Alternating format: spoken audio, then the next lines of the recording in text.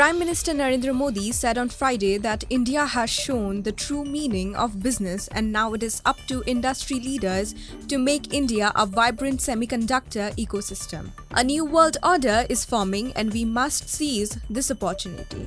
India has an appetite for risk taking. India has shown that we mean business. Now it is over to us to make India a vibrant semiconductor ecosystem, PM Modi said.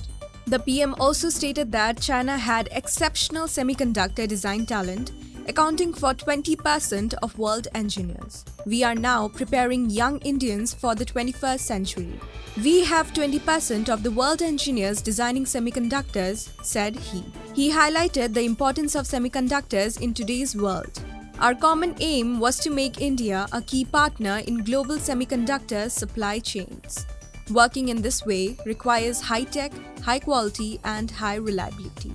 According to the Prime Minister, six reasons make India an attractive investment destination for semiconductors technology.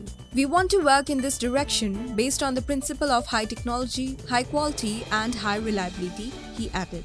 For way to connect 600,000 villages with broadband. We are investing in developing capacities in 5G, IoT, and clean energy technologies.